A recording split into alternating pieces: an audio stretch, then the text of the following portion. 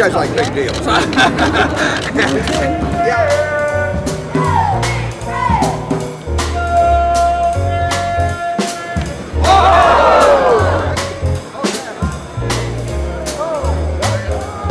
I've never really been nervous about anything in the business except when I turn over salt.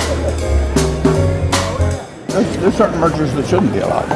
They might be very tempting to the parties doing it, but, but uh, yeah, you wouldn't you wouldn't want the Union Pacific and the Burlington Northern to merge. It wouldn't be good for the country.